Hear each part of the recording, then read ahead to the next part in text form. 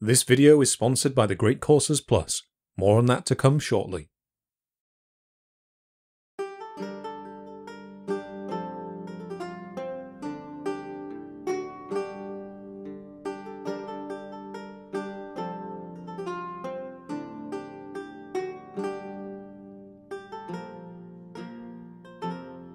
So, Crofty, are you enjoying the uh, the pubs being open again? I'm in Wales. They're not open yet. Oh yeah, sorry. You uh, live in the land of the not not free. I don't know how you'd phrase that. But anyway, I, I have very definitely not been going to the pub at the moment. I've been staying in and reading about Greek mythology. So, uh, hello to everyone out there at home. Welcome to another episode of Mythillogical. I think it's Mythillogical number eight this time, is it? Yep, number eight. Yeah, we're getting perilously close to double digits at this point. And a year to the week since our first recording. Oh, wow. It was this week last year. I did not realize that. So I don't know if it's a good or a bad thing that we only got through seven episodes in that time, but uh, hopefully we'll have a little bit of a better uh, track record in the rest of the year. And they were massive episodes. Yeah, exactly. So uh, we've produced more than enough uh, hashtag content in the last year or so to go around. And, un- well, from one perspective, it may be unfortunate. It looks like we're going to have a whole bunch of content on our current subject as well, aren't we, Crofty? yes, we uh, kept saying, let's not do another two parter. And we think this is a two part job. Mm, definitely. Definitely. Uh, my name is Charles, by the way, because I just realized I introduced Crofty, but not myself. so, hello. Hello, everybody at home. I am a human with uh, a human name, and I exist. I mean, I doubt some of those facts. Eh, yeah. You have to bring out a debunking video. so, folks at home, today's episode, I think we teased at the end of the last one, didn't we, Crofty, that today's episode is on ancient Greece. Yes, we have finally made it to ancient Greece after eight episodes. yeah, I think we uh, very briefly were there during the course of our second episode, but now we're going to actually focus down and get some pure mythology on the channel. And as Crofty said before, we have so much material on this particular person that we're going to be discussing that we split this into two parts. So the first part of this episode is going to cover that person's early life and the first part of a certain group of exploits they are associated with. So, Crofty, do you want to reveal who the subject of today's episode is? Yes, the man of the hour, the son of Zeus himself, Heracles. Mm. So we need to start off, I think, with the important distinction of that we are mostly today going to be talking about the Greek hero Heracles. What we are largely not going to be doing is talking about the Roman hero Hercules. They are very, very, very similar. Obviously, it's a case of the Romans kind of copying the Greeks' homework on this one, but we want to stay focused on the Greek traditions, and we may well return to the topic and look at Hercules in the future. Because two episodes on him just isn't enough. Yeah, exactly. exactly. Plenty uh, more more Hercules than you can shake a club at. So as we have increasingly started by asking Crofty, what was your previous familiarity with Heracles before you started the research for this episode? Well, I was strangely lucky among students in you know, UK primary schools and comprehensive schools in that I actually got to study a lot of Greek as well as Roman and Egyptian mythology from when I was in primary school, which is the UK equivalent of what Americans would call elementary school. So the stories of Heracles or Hercules are things that I've been familiar with since I was quite young, even though obviously they were very uh, sanitized versions. Hmm. Quite a lot of what we will cover today was not deemed suitable for children. No, I, I'm not surprised by that. Um, so, Crofty, would it be appropriate today to say out of the two of us, you are effectively the the Heracles scholar here? that may be going a bit far because remember, I left school more than 10, more than 12 years ago. So, you know, I've forgotten a lot since then. Well, you work at university, therefore you're still at school. True. That's exactly how that works. Definitely. Yes. Not working in a classics department doesn't mean anything. yeah. So I am basically the diametric opposite of Crofty in this scenario, in that the only scholarly knowledge that I have of Heracles or, you know, knowledge of the original classical Greek sources is entirely what I've filtered through Heracles in popular culture. So, my main source of knowledge for this is Hercules, the Disney film, which, as you mentioned, heavily changes and sanitizes almost all aspects of Hercules' life. Of course, it's Disney. Yeah, it's it's Disney. It was part of Disney's weird phase in the '90s where they decided to adapt stories and characters that that were perhaps too complex for Disney's way of presenting things. yeah, there were a few of those. And uh, I enjoyed it as a kid. It's a bit of a mess watching it as a kid now, bit all bit all over the place. There's like whiplash from tragic, heartfelt scenes to comedy scenes to action scenes, and it's just generally a bit all over the place. But So it's a 90s Disney film. Yeah. And uh, and hey, the uh, video game adaptation on the PlayStation was the first game I played on that console. So uh, there you go. My other vague knowledge of the subject comes from, of all things, uh, Hercules: The Legendary Journeys, the Kevin Sorbo fronted TV show from the '90s, which I remember watching tons of it as a kid. I could not tell you what happens in a single episode. You will be very um, disappointed Yeah, to hear that I never watched either of those. No, very disappointing.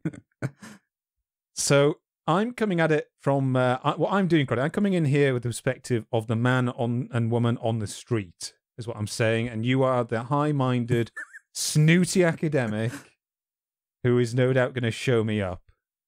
My classics teacher would be so proud. So that's our basis for what we know about Heracles as a subject. Before we get into Heracles proper and discuss not only the man, the hero, the god, and the way he has been presented as such, I'd like to take a moment to talk to you about this episode's sponsor. So today's episode is sponsored by the Great Courses Plus, which is an on demand educational streaming service that's offering you a free trial today. The Great Courses Plus offers a vast library of carefully curated lectures and courses from world leading academics. I've recently been rewatching Professor Amanda H. Podany's course on Mesopotamian history, which helped inspire my own video on the topic. The series covers the ancient history of the region from start to end, beginning with the early origins of agriculture in the region, through to its final conquest by Cyrus the Great in the 6th century BC. And if you're looking for something other than history, the Great Courses Plus has over 11,000 courses on a wide variety of topics, including art and literature, science and mathematics, and yes, even mythology. So if you want to access your free trial today, visit thegreatcoursesplus.com slash thehistocrat or click the link in the description below. Okay, before we get properly started, Crofty, do we want to talk about what sources we used for this particular episode? Uh, yes. When we looked into the primary sources, so the original ancient Greek histories or poetry, etc., I think we both did focus on what could be considered the two most definitive versions. Um, wouldn't you say, Charles? Yeah, so we focused really on the narratives given to us by, I think he is, uh, trying to remember off the top of my head, I think he's from the second century BC, but he might be from the first. Uh, Diodorus Siculus, or Diodorus of Sicily, who wrote uh, a universal history titled The Library of History, one of the books of which largely deals with the life of Heracles. In addition to this, we also used a document written by what at the time was thought to be a man by the name of Apollodorus of Athens, who wrote his own library, which is probably the best single source for all of Greek mythology, just because he summarized so many stories and wrote them down that had previously been uh, surviving in only fairly disparate sections. So those are the two kind of organized narratives I think that we followed and that we're going to be talking the most about today. I'm sure, Crofty, that you as I have have kind of looked at some of the other primary sources out there that are perhaps more fragmentary. So I looked briefly at some of the works attributed to the epic poet Hesiod, uh, which date from the either the 8th or 7th centuries BC, depending on uh, various theories surrounding the composition of his works. Uh, in particular, I read through the Shield of Heracles and also what remains of the few fragments of the Catalogue of Women, and there are a few parts of his Theogony that kind of just offhandedly mention Heracles as well. The rest of my information comes from the works of Homer, which are the Iliad and the Odyssey, um, where Heracles is very briefly mentioned, and I will discuss also briefly in looking to the background of the character. And the final thing which I looked into was a play by a Greek by the name of Euripides called Heracles. So we kind of get a dramatic sense of how Heracles was portrayed as well. Crofty? Uh, yes, I used the same main sources, Apollodorus or pseudo Apollodorus, as there has been some dispute over who to attribute it to. Um, Diodorus Siculus, um, who I've just double checked, he died in 30 BC. Ah, okay, so he's first century then. Yeah, just had to double check that. And again, I also got a few bits and pieces from Hesiod's Theogony, Euripides' Heracles, also um, the Roman poet Ovid's Metamorphoses, provided a bit of extra information, and also the poet Theocritus provided a couple of quite useful accounts. In addition to these primary sources, I also used a few scholarly articles and books. Probably the most helpful work that I read was the academic work Heracles, part of the Gods and Heroes of the Ancient World series by Emma Stafford, uh, through which much of my information regarding Heracles' background and his development as a character has come from. I also used an article written by the same author, which is Heracles Between Gods and Heroes, and I also went through a transcript of a lecture uh, read by Dr. Silvio Bar uh, that was held at the Norwegian Institute in Athens in 2018. And it is titled A Gluttonous Strongman and Irascible Stoic Heracles in Greek Epic from Homer to Nonnus. And the final work is something that Crofty, you uh, very helpfully sent my way From Bowman to Clubman Heracles and Olympia by Beth Cohen. I also read through um, Emma Stafford's papers, as well as, like you just said, the From Bowman to Clubman paper. A book that I found very useful was Hercules the First Superhero, an unauthorized biography by Philip Matyszak, who is a professor of Roman history from Cambridge University, but he does reference mostly the Greek sources. As it's more a bit more of a popular book, there will be points where he doesn't reference the primary sources. And so if I'm mentioning something from his book that doesn't have a primary source, I will make that clear. Also, in terms of the academic papers, as well as the Emma Stafford paper and the From Bowman to Clubman paper, um, another useful one that I found was by Leda Stevanovic called Human or Superhuman The Concept of Hero in Ancient Greek Religion and in Politics. Okay, Crofty, I think that's enough discussion of sources. Let's start by getting to the meat of Heracles. And in order to do that, we need to be able to establish Heracles the hero.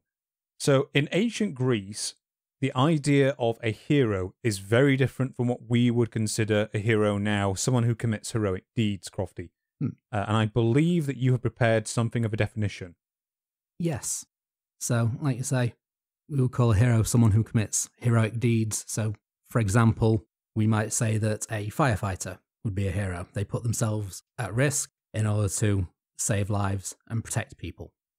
And to us, a hero is something that any person can become by performing such deeds. Yeah, we will see in the paper hero rescues drowning person from river, sort of thing. Hmm. And it's also a, a status that can be revoked if that person is later found to have committed some sort of evil deed. For example, a firefighter may be called a hero for saving lives, but if it's then revealed that the firefighter started a lot of the fires, they're no longer considered a hero. Yeah. Whereas in ancient Greece, if somebody was a hero, that was a fixed part of their identity, of their story. Whatever evil deeds they may have performed does not take away from that. Yeah. They are fated to be a hero fundamentally.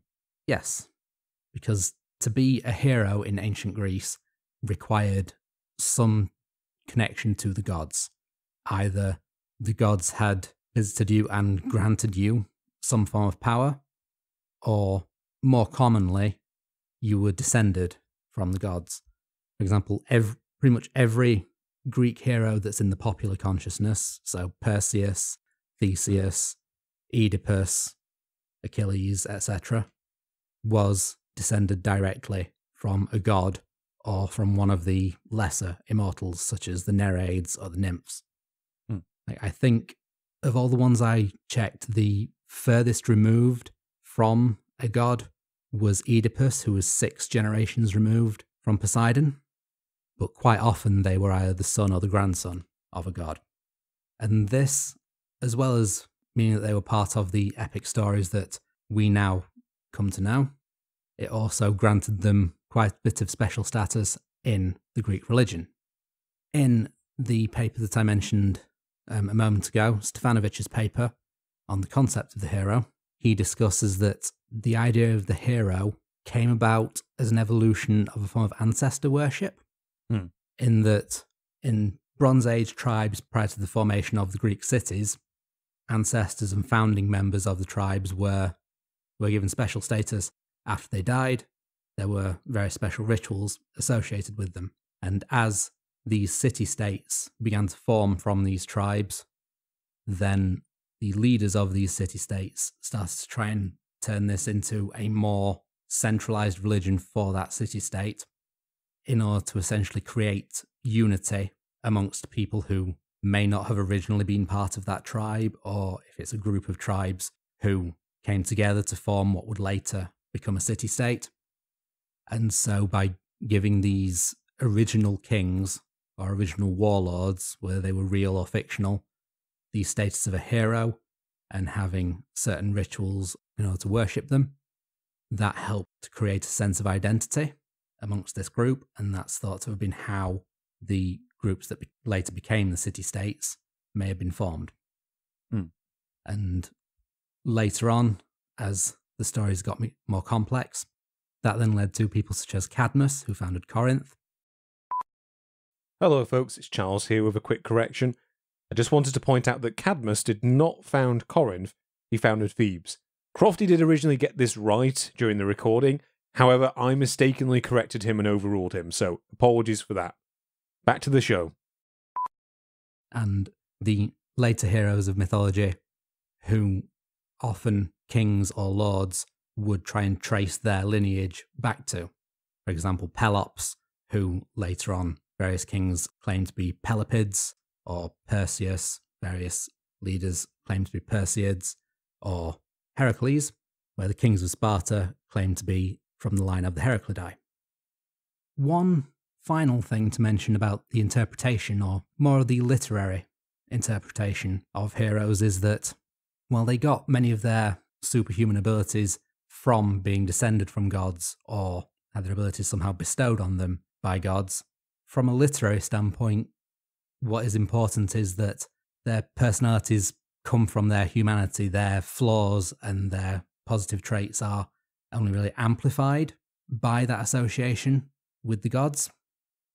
So their positive and their negative traits, while they come from their human side and are merely amplified by this divine connection rather than coming from the gods themselves, the important thing is that they are still mortal, they still grow and change, whereas the gods, being immortal, are also fixed. The gods do not develop as characters the same way that a mortal half god hero would. And so that is why a lot of more literary scholars think that they may resonate down the years through the Greeks, through the Romans, and through to modern times. So I think that gives a good overview of what one might consider a hero in ancient Greece.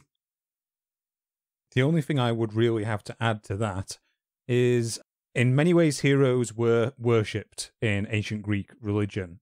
I think what's perhaps a useful distinction, however, is that they were not necessarily worshipped in the same ways as the gods were worshipped, for example. They would be worshipped usually in the form of a ritual and a feast, at which the participants of the ritual would usually consume the flesh of the animal the version which I found looking through the various sources I did was that heroes were usually revered by having an animal destroyed rather than feasted upon. And often this was because of the hero's association with the underworld. So, obviously, with the case of a hero who's being venerated, they are venerating a mortal who has passed on that kind of has a, a chthonic association as a result, is associated with the Greek underworld. There are examples of superstitions in ancient Greece where if someone was to drop food on the floor, that was considered food left for the heroes in the underworld. So I think that's an important distinction for us to have because that distinction is one rule that Heracles almost uniquely breaks. Yeah, that's it. The thing thing about Heracles is that he is very much on both sides of the divide between hero and god.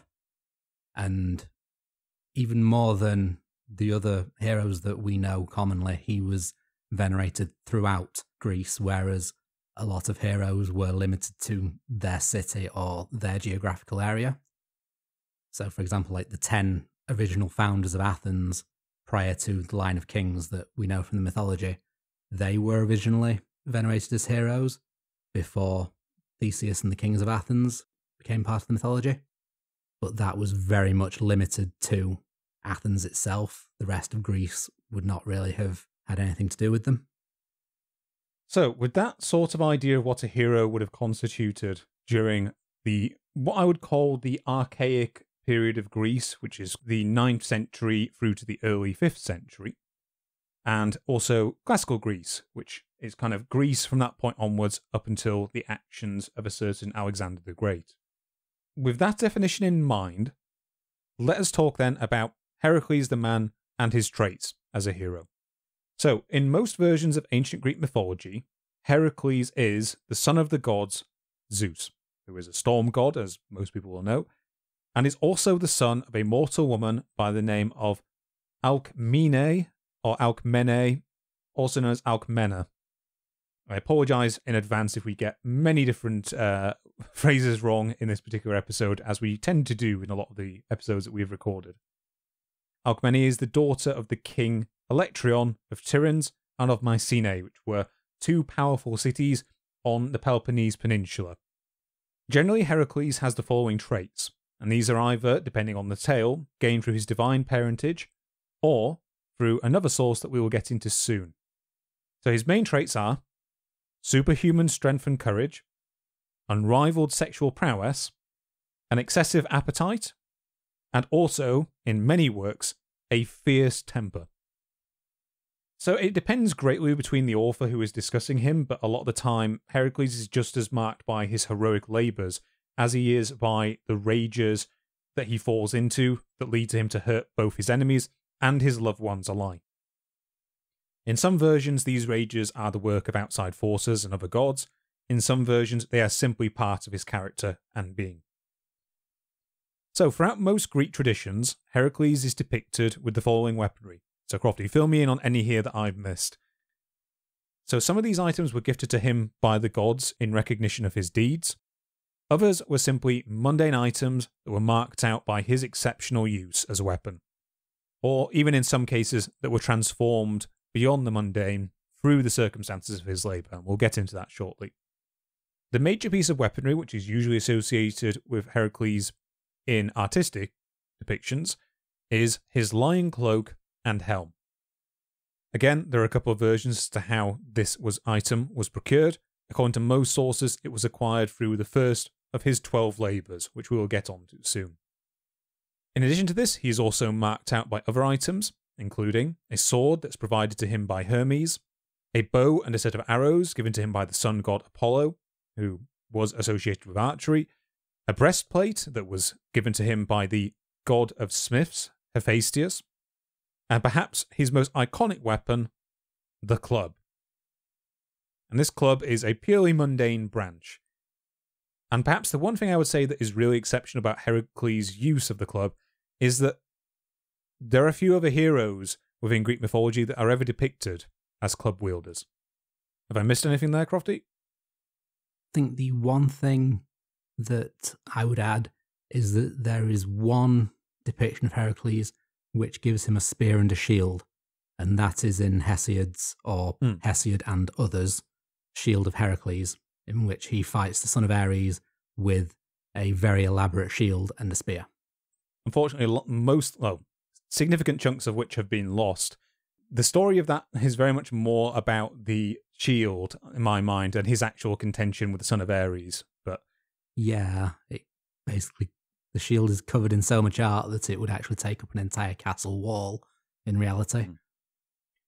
As Crofty went into briefly beforehand, and as Emma Stafford also states in her article Heracles Between Gods and Heroes, Heracles carries many of the same qualifications as other cultural heroes of Greek mythology. So Crofty gave the example of people like Perseus, Theseus, Achilles.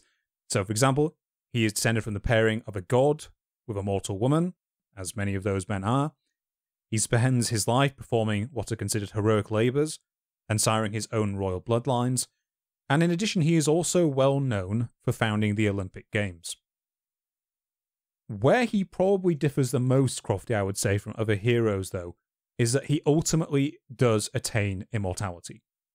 Yes, I think he is the only one, or one of only maybe two, who Hmm. attain immortality. Yeah, there is another example that I will get into in a second. So it is due to this kind of dual nature that throughout the ancient Greek world, he was both regularly sacrificed to as a hero in his more mortal sense, uh, and as a god with the appropriate selection of sacrifices as a result. So, as you said, Crofty, I think the only equivalent I can think of would be the god Dionysus, also known as the Roman god Bacchus, who was generally the god of wine and merrymaking, along with another wide variety of attributes as well.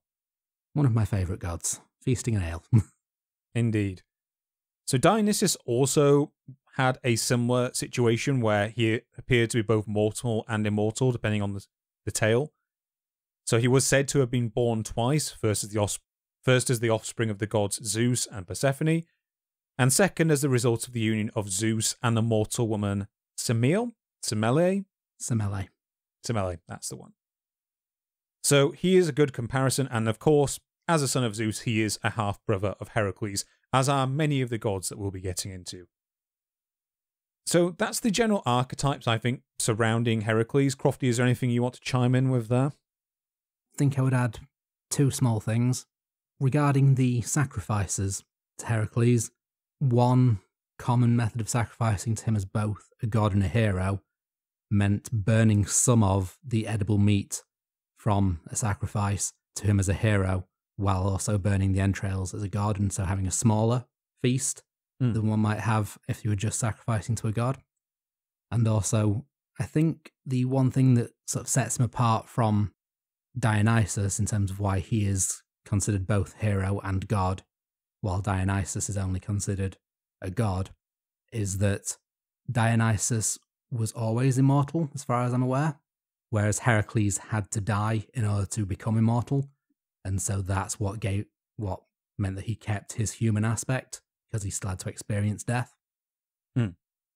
So before I want to go into the exact events of Heracles' life, I wanted to start by talking a little bit about where the myth associated with Heracles may have come from, uh, what potential influences from other areas of the world may have led to his development. If you look into a lot of scholarly insight into the topic of Heracles, a lot of the time they relate his myth to more general hunter hero myths that are associated with Indo European cultures. So, yeah, the, the archetype of the hunter hero, usually descended from some form of storm god, is a recurring figure throughout many of the Indo European regions, throughout Western and Southern and even Eastern Europe. What I found more interesting personally during the course of the reading I was doing, and which appears to have been focused on far more recently, is the possible influence on Heracles that came from the Middle East.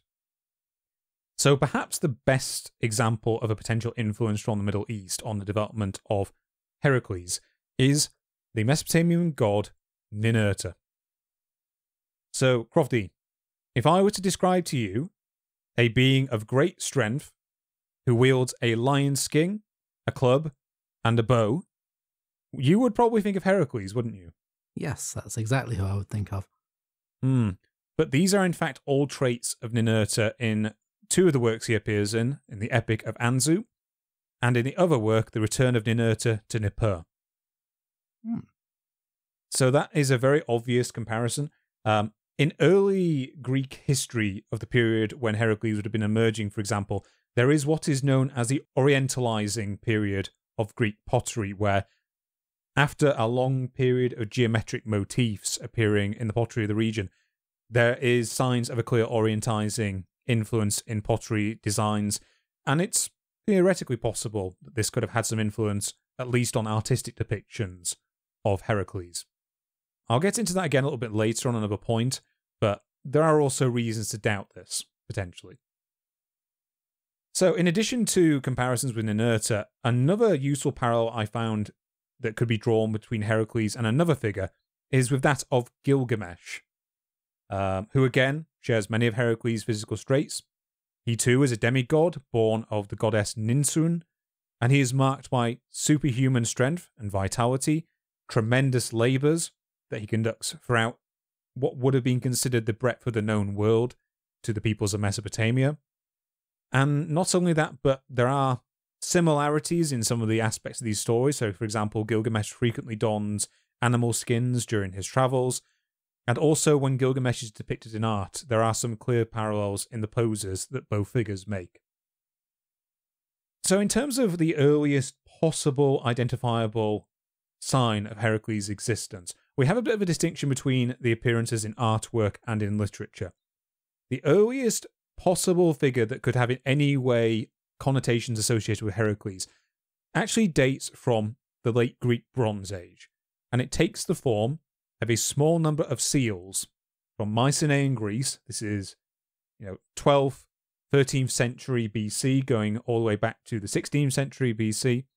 And it consists, as I said, of a small number of kind of ring seals depicting men grappling with wild beasts such as lions, men hunting deer from chariots. And there is one seal in particular that does show a man holding a lion by the throat as if he is strangling it, although he is also wielding a blade in his other hand. So, Crofty, I think that's quite clear that those could be interpreted in a very charitable light as being associated with some of the labours of Heracles. Yes, the uh, lion image in particular sounds quite familiar. Mm, indeed. I think probably the safest thing you could say on this topic was that this sort of heroic attitude amongst the early Greeks, the Mycenaean period, may have been a later influence on how heroes such as Heracles were depicted, especially in the periods of oral storytelling before literacy was re established in Greece after the collapse of the Mycenaean cultures in the 12th century BC. But I don't think you can read much more than that into it, quite frankly, because there is no literary source uh, that exists from Mycenae Mycenaean Greece that gives us any insight into these activities. Greece, after the Mycenaean Age, went through what is often referred to as the Greek Dark Ages, and this is a period where the palace based economies of the Mycenaean Age, which is marked by local kings ruling areas of the Greek peninsula, after the collapse of these palace based cultures, Greece reverts very much to local communities which don't have like a unifying culture between them. And it is likely that some point in this process, the earliest seeds of either Heracles himself or the heroes that were later amalgamated, possibly, into Heracles, that they came into being. By the 8th century BC, when Greece really begins to move away from the geometric artwork in favour again of depictions of human figures uh, on its pottery. By that point, scenes are already appearing that can be pretty clearly attributed to Heracles, and in some cases, many of his labours. This is really transitioning to a period of Greek history known as the Archaic period, rather than the Dark Ages for them. And this is, as I say, when many of the polities of classical Greece came into being. So, with the exception of one labour, which we will get into, almost all of his labours have been found represented in some artistic form or another dating from this period, Crofty. Uh, the only exception which I could find is Labour 5, which makes sense when we'll come to it because it is an unusual event to try and depict. Yeah, I wouldn't like to try and draw that event, really. unfortunately for us, whilst there are rich artistic traditions of Heracles going back even to the earliest parts of archaic Greece, many of the earlier prose and epic poetry based works of his life and labours from this period just simply have not survived. So, the most notable of those that appear to be known of but lost are things such as the Catalogue of Women, as we said before, attributed to Hesiod, which was kind of his bridge between the uh, the more godly antics of the Theog- is it Theogony? Hmm, Theogony. Into uh, is it Works and Days, which is purely to do with the heroic endeavors of mortals. Yeah, yeah, that's right. Probably the most significant epic that has been lost was by an author by the name of Panyassis, I believe, who in some sources is the source of his 12 labors, specifically the 12 number. We do, however, have a small number of works that date from the early archaic period, such as the works of Homer. In particular, he appears in the Iliad, not in person, because the Iliad is set in the generation of heroes after Heracles, but in that particular work, he is he is already considered to be a heroic figure uh, and an ideal for other heroes to aspire to, particularly Achilles. This is interesting because the Iliad in its oral form was likely composed somewhere in the 8th century BC, which shows you that his status is already pretty well developed by the time we get to an to a period when oral tradition is starting to be turned into written accounts. In addition to this, he also, as mentioned, appears briefly in the Theogony, where he is again more mentioned uh, as kind of a, a footnote or in passing reference. He also appears very prominently in the Odyssey, which is a work that is also attributed to Homer. There is a great deal of argument over whether it was written by the same person. What is interesting about his depiction in the Odyssey is it is almost a complete flip from his depiction in the Iliad. So in the Iliad, as I said, he is this heroic ideal. In many ways, in the Odyssey, he is a non ideal for Odysseus. So he not only is he presented as a figure that Odysseus should not emulate, he is presented as appearing in the underworld, where his labours are briefly mentioned. He is also in one of the chapters, I believe it's chapter 21, he is presented simply as a murderer. Hmm, not wrong. So in book 21, as I mentioned, uh, we get part of the story of Iphitus, from whom Odysseus once received a bow as a host gift, and how Heracles subsequently killed Iphitus and stole his horses. In comparison to the earlier painting of him as this heroic ideal in Homer's works, here he's not only a brutal killer, as is phrased by the uh, lecture by Dr. Silvio Bar that I mentioned, but he's also someone who commits the greatest of possible dishonorable acts, or at least one of the greatest of all possible dishonorable acts, which is to deny the hospitality right and to murder his host. So, yeah, already we are getting very mixed depictions of Heracles, the man and the hero. One of the next kind of archaic sources that we do have, which I think I neglected to mention in our sources, so apologies, were the works and odes of Pindar, who was a influential poet, I believe, in the 6th or 5th centuries BC, who, in complete counterpoint to the Odyssey, presents Heracles as a heroic figure with his negative attributes all but stripped away, completely removed. He is very much considered Pindar's favorite figure, not only to detail, but in terms of the way he kind of brushes over his more negative aspects.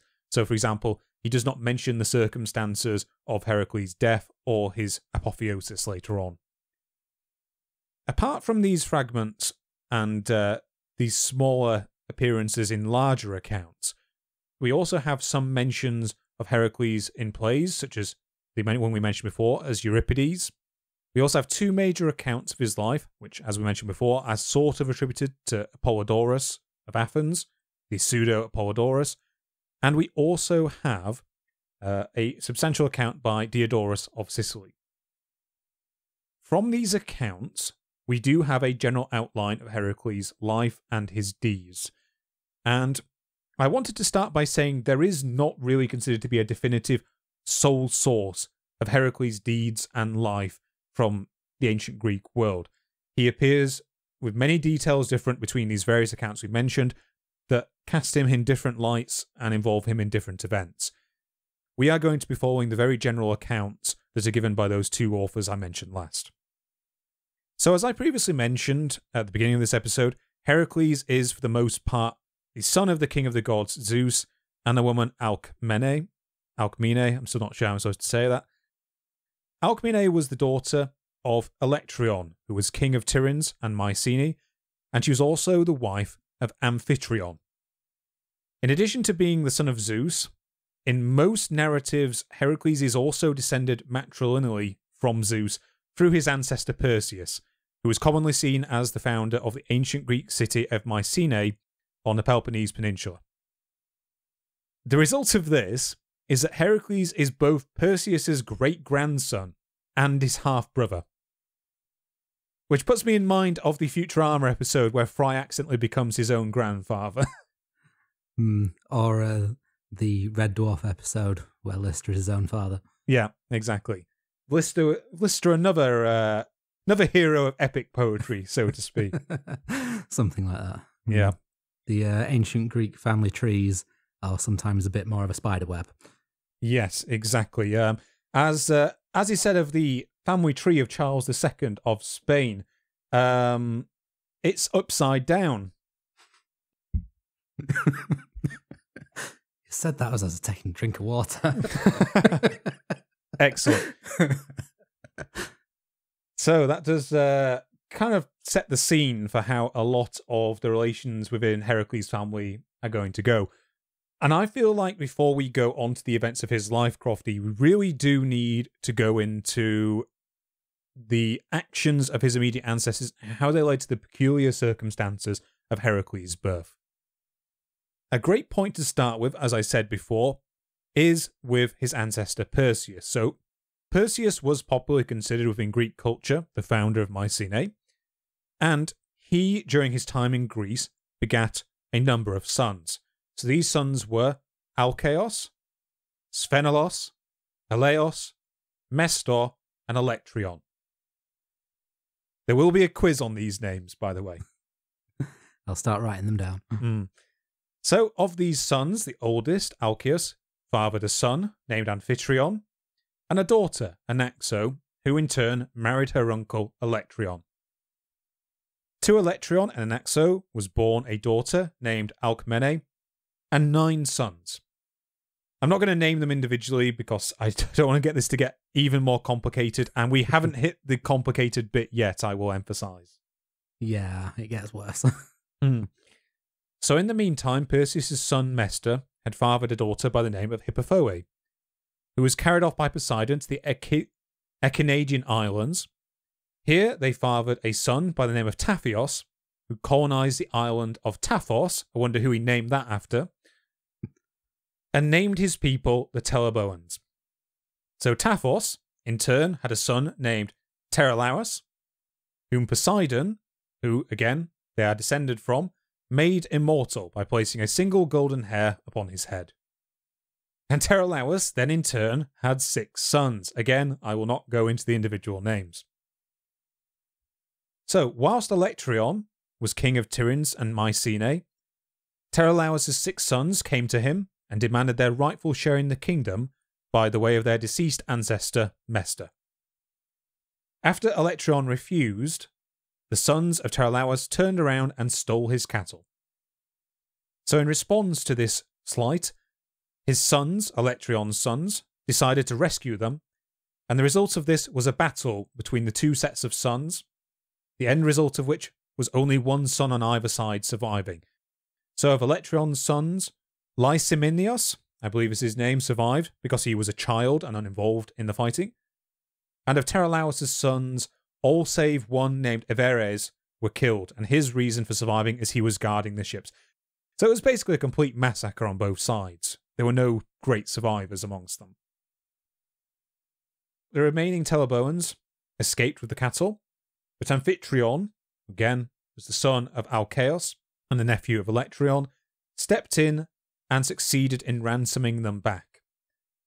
So, in response to this slight and conflict and the slaying of his sons, Electryon planned an expedition to avenge his sons against the Teleboans.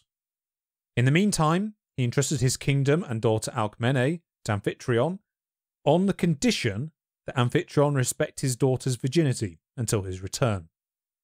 And that indeed is one of Alcmene's great characteristics within these tales is her chastity. Bit of a common one in ancient Greece, that. Indeed it is, but uh, I guess it was a virtue that was highly valued by their society at the time. Hmm. One little fly in the ointment here of uh, Electryon's planned expedition of Electryon's planned expedition. When Amphitryon went to return his cattle to him that he had succeeded in ransoming back, one of the beasts rushed towards the king unexpectedly. So Amphitryon stepped in to try and defend the king by aiming his club at the beast, but the blow rebounded off its horns and stuck Electryon in the face, killing him. So that's somewhat awkward, isn't it? Here is the king who has promised you his daughter and effectively entrusted his kingdom to you, and now you have accidentally killed him. Yeah, that, that's going to be a tough one to explain to the wife. Indeed, and uh, his wife wasn't angry with him, but it appears that the circumstances of Electryon's death did allow another of Perseus' sons that we mentioned before, Sphenolos, to seize the throne and to exile Amphitryon and Alcmene to Thebes. And it is here that Heracles came to be born. So, the siring of Heracles follows this general form in both Apollodorus and Diodorus's accounts. Depending on which of them is telling the tale, Alcmene is now either married or betrothed in some way to Amphitryon, but she makes either the final marriage or the consummation of the marriage contingent on his avenging of the deaths of her brothers. Amphitryon indeed sets out to do so, and in order to do this, he enlists the help of Creon, who is the king of Thebes. So there are varying forms of exactly how uh, Creon agrees to help him. There's one particular version where I believe this comes from Apollodorus.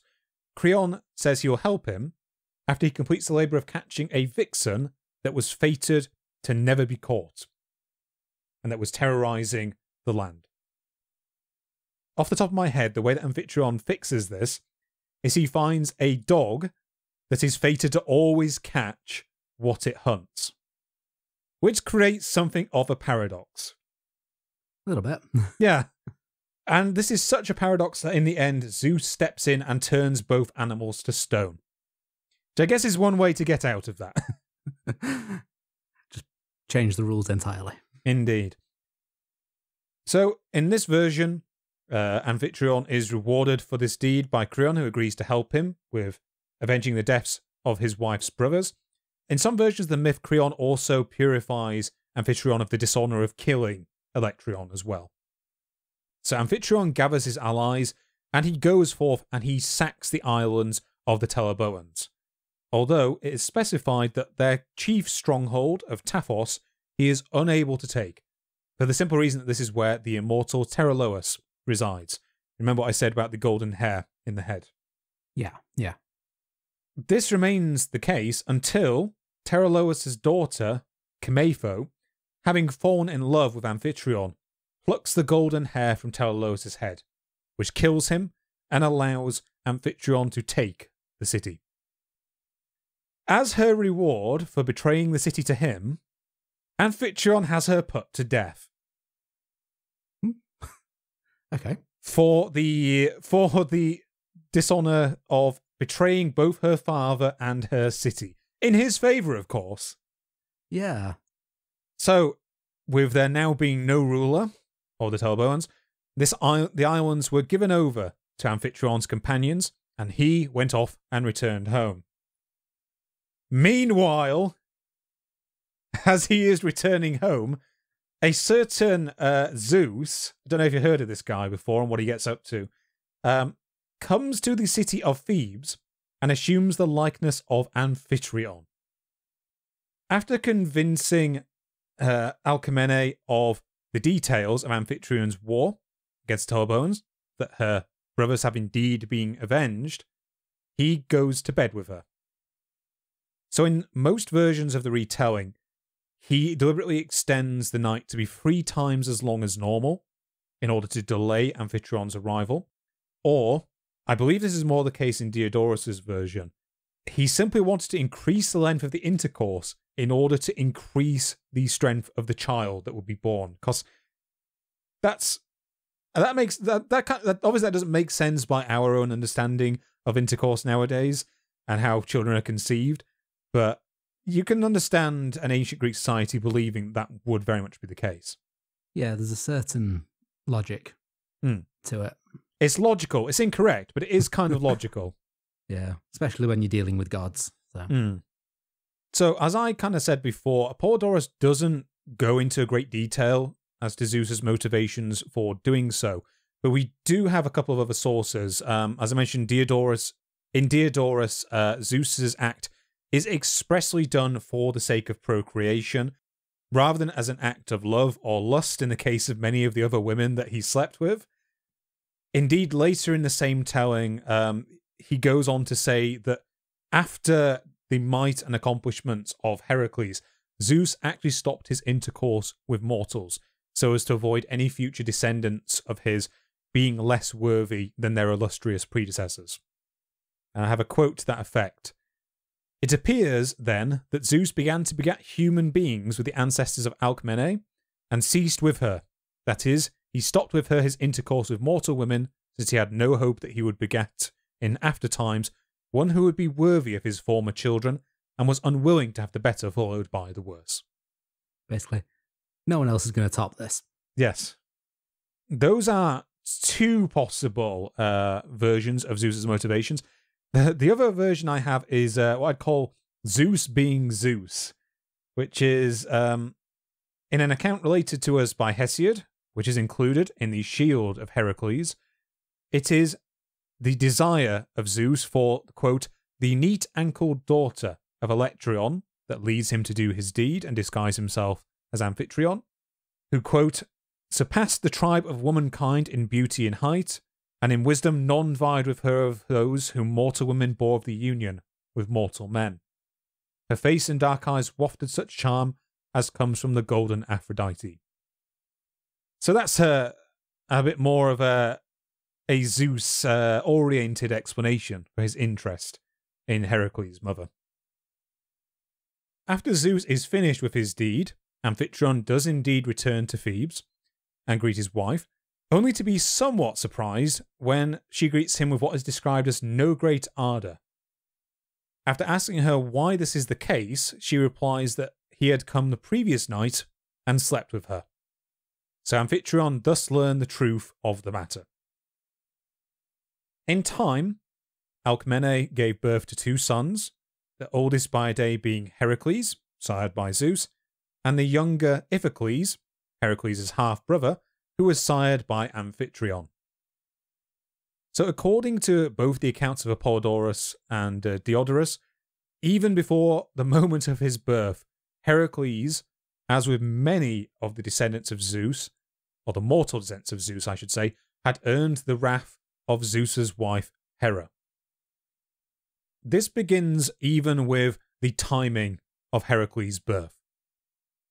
So, around this time, Zeus had decreed that the very next descendant of Perseus who would be born would become the king of Mycenae, which, as I remind you, was at the time held by Sphenolos, who had usurped the throne from Amphitryon and his wife. Now, logically speaking, Heracles should have been the heir for the simple reason that um, Amphitryon was directly sired by Perseus's oldest son.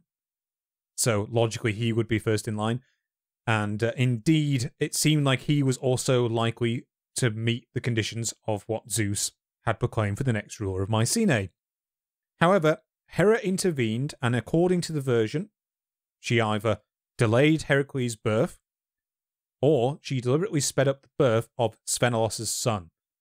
The result being that Eurystheus was born first and became heir and then king of Mycenae. So before he is even born, Hera has denied Heracles the rightful throne of Tiryns and Mycenae.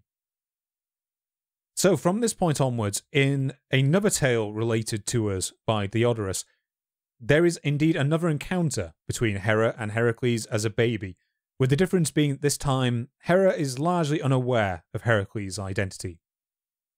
Fearing Hera's revenge for the incident involving Heracles' birth, Alcmene exposes Heracles to die in a field, which we are told become, is later known as the Field of Heracles. Both Hera and Athena manage to approach the exposed child unaware it is Heracles, and amazed by his vigour, Athena convinces Hera to offer the babe her breast. However, Heracles, being who he was, suckled so fiercely that he caused great harm to Hera, who hurled the babe from her. So, according to this version of the tale, this is actually the source of Heracles' superhuman strength by being suckled by Hera's milk. Another version of this tale also proclaims this to be the source of the Milky Way, which would have been considered simply another constellation in these times, and that it was said to be the squirt of Hera's milk that was flung into the sky as she hurled Heracles from her. Afterwards, Athena then retrieves Heracles, uh, probably uh, brushes him off a little bit, I assume. Checks for bruises and broken bones. Mm, and then returns him to his mother. So after this, Hera's enmity would continue. Uh, I believe Diodorus actually does kind of point to Heracles suckling too fiercely as one of the main reasons for her dislike of him, which uh, says a lot of how fickle the Greek gods really are. Yeah. Considering some of the things that Hera does later to get back at him as well. Indeed, indeed. And immediately following on from this event, we have a story that I think most people are going to be quite uh, familiar with in relation to Heracles. This is the story of the two serpents that were sent to dispatch him in his cradle. So this is recounted to us by both Apollodorus and Diodorus.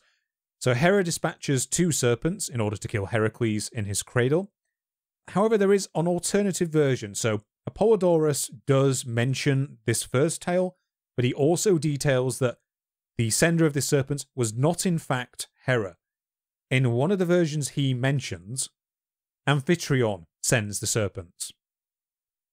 And this is not done to kill Heracles, it is done so that Amphitryon can discover which of the two boys have been born is actually his son.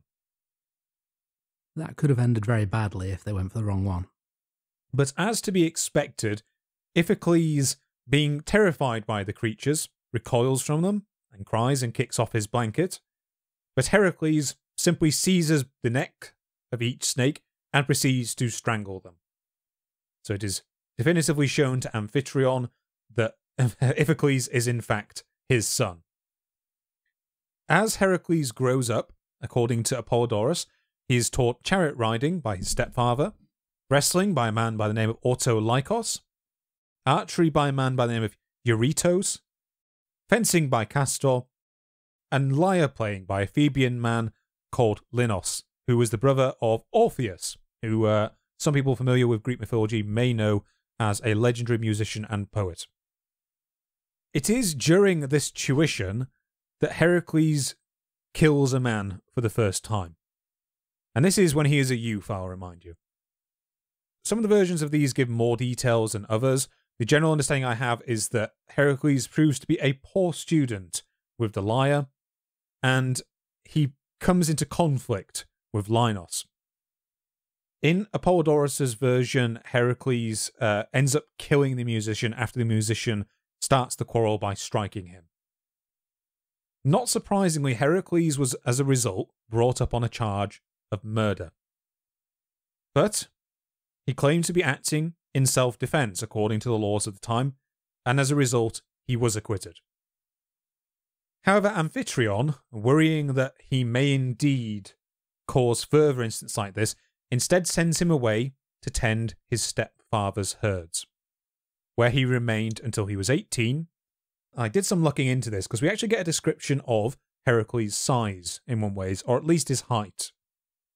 So, Crofty, Heracles is described as growing to the great size and height of four cubits. Now, the cubit is a measurement throughout European and Middle Eastern history that has varied greatly between cultures. The version that I found in this case is just slightly less than one half of a meter. Yeah, that uh, sounds about right. I've heard it as about a foot and a half, so Hmm. about evens out. Yeah, which means that Heracles, this great towering uh, beast of a man, is probably somewhere in the region about six foot two. Which is very tall for the time. Indeed, that's what I'm trying to get at. Is I would give this an example of like human beings until quite recently uh, in many like early urbanized societies are not particularly tall. So uh, to give a an example, even in the early 20th century, there was a boxer by the name of Jack Johnson, who I mostly know of because there's a documentary about him because he was the first uh, black world heavyweight champion, and he was a very colourful figure. But in his time, he was described as the as a giant. I believe he was called the Ethiopian giant, which is a bit racist, but um, because he was American. But anyway, he was I think about six foot one. So it does show up until quite recent times. Many uh, figures who were considered incredibly tall by modern standards would just be a moderately tall person, or in, in some cultures, a normal height person. We've seen a few people, I say we've seen, the world has seen people as high as seven feet nowadays. Yeah, I mean, uh, we we know the tallest man who ever lived was eight foot eleven, so we're getting into Goliath territories at that point. Yeah, and yeah, six foot four is yeah, fa- not uncommon these days. Hmm, exactly. But uh, as a five foot eleven man, I'm going to move this conversation on quickly. So during this time, Her- Heracles remains with his father's herds until the age of 18. And it is according to Apollodorus that in this time frame he fought and slew his first great beast. I'm not going to go into great detail on the details of this for the simple reason that it is thought that this is uh, that is not kind of a widely considered part of his mythology, and indeed it seems to mix up some details with one of his later labors. It does, however, involve another event which needs mentioning. So, during this time, there was a lion known as the Lion of Kifarion, or Kifarion, who was menacing both his stepfather's herds and those of the king of the Thespii, who was helpfully named Thespios. During the course of this hunt, Thespios entertained the young Heracles. And every night that the hunt continued and that he would return, he would arrange it so that one of his 50 daughters, who all looked all but identical, would sleep with Heracles. Heracles believed that they were all the same woman, and as a result, he was able to sire a child on each of these women. The reason given for this in Apollodorus' account is that Thespios wished to sire strong children from Heracles. That's the simple reason given. Did Thespios know of Heracles' ancestry at this point? It is unfortunately not mentioned in Apollodorus' account. It may well have been. Yeah. But then also a, a six foot two man strong enough to fight a lion is also generally quite valued anyway back then. So, upon returning from this hunt, after successfully slaying the beast, Heracles was met by heralds from the king of the Minyans. At the time, the city of Thebes, which is where he's grown up and where Amphitryon was exiled to, was in fact paying regular tribute to the min- Minyans who lived at neighboring Orchomenos, which is another city on uh, the Boeotian, I think it's called, peninsula. Boeotian, I think. Boeotian, I- that's the I one. could be wrong on that as well. Yeah, uh, Greek is not our first language, unfortunately. So we apologise to anyone out there. Just uh, let's copy and paste the last disclaimer from every other episode that we have used at this point. At this time, Thebes was paying regular tribute to Orchomenos and the Minyans, and this was a result of their previous defeat by their king, Erginos. And specifically, the tribute list given by Apollodorus is that 100 cattle each year were being gifted to these peoples by Thebes, and it was to continue for 20 years. Not only that, but I believe in Diodorus' account they had also stripped Thebes of any useful weapons. So when Heracles happens to come across these heralds who are journeying to receive these tributes, he responds by horribly mutilating them, for what he perceives as the offense against his city. He cuts off their ears, their noses, and their hands, and he ties them around their necks. And it is these that he tells them to take to Erginos, and that this is to be the only tribute he is to receive. Erginos, rather unsurprisingly, responds by marching with his army against Thebes. In both Apollodorus's account and in Diodorus's accounts, uh, Heracles and the youth of the city end up doing battle with the rival king. In Diodorus's account, King Creon of Thebes is prepared to hand over Heracles to Erginos. However, Heracles, on his own initiative, rallies the young men of the city and, realizing that the enemy have not actually taken the arms and armor that have been left in the various temples of Thebes, retrieve those and equip them. So, in both accounts, Heracles is victorious, and Erginos and his men are slain. As a reward, Creon gives him not only the hand of his daughter Megara, but also grants him control of the city as if it was his own. So after Heracles had married Megara, she went on to bear him three sons, and alongside this, Creon gave his younger daughter to Iphicles, who already had one son by the name of, of uh, Iolaus, and had, went on to have two more children. At this point, things are looking, I think we have to say, pretty rosy for Heracles. He's already conducted himself in several heroic acts, and he's also now effectively the heir to Thebes. Done quite well for himself. Indeed, he has for uh, a young, divinely. Uh, I was going to say a young man who dragged himself up, but for a young, divinely sired man who was the uh, the son of an exiled heir to a throne, Hmm. um, he didn't have to pull himself that far, admittedly. yeah, he, he started out with nothing, just a small loan of godly power from his father. Yeah, uh, yes, a small loan of a million godly powers. That's not a reference to anything in real life at all. yes, Crofty. So things are looking pretty rosy for Heracles at this moment. But it is unfortunately at this moment, according to whichever version you read, that calamity befalls him in one of two potential ways. I think I need to do a little bit of back, uh, a little bit of a back step to explain something here. In some versions of the tale, when Hera intervened to change the day of the date of birth of Heracles, so that another man would become heir to Tiryns and Mycenae, in one version, I believe it is Diodorus's version, I may be wrong, Zeus's response is to decree that Heracles will conduct 12 labors. And if he completes them, he will be gifted immortality. So it's kind of his recompense for no longer being the heir to the city.